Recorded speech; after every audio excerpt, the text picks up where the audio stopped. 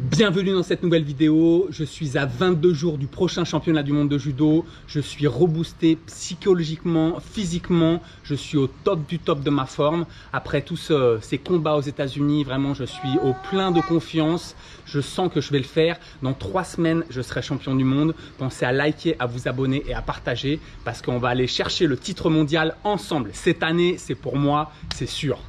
Dans deux jours, dans exactement 48 heures, je pars en Bosnie-Herzégovine avec un de mes étudiants pour les championnats du monde cadet.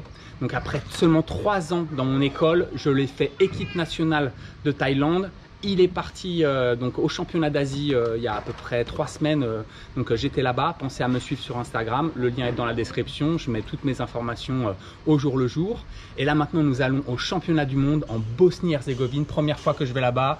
Ça sera à Sarajevo. Je vais vous emmener avec moi dans ce voyage extraordinaire. Vous allez vivre un championnat du monde cadet depuis l'intérieur. Vous allez voir, ça va être exceptionnel.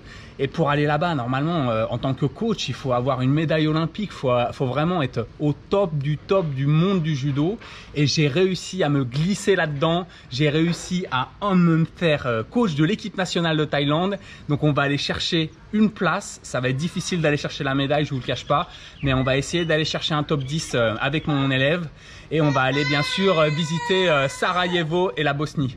Vous êtes prêts pour cette journée extraordinaire d'entraînement qui commence maintenant. Boum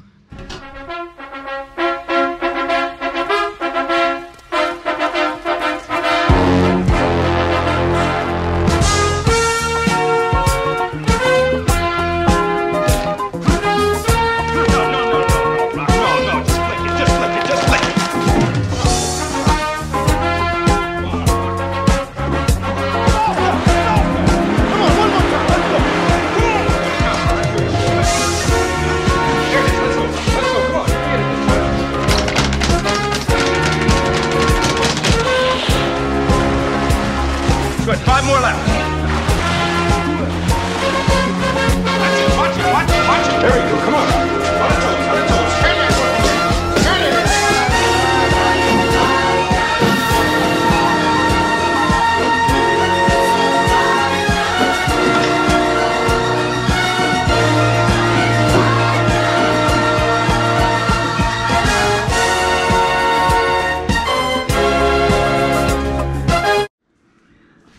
Un bon poulet rôti, quelques légumes à la vapeur, des pâtes au pesto, un peu de feta.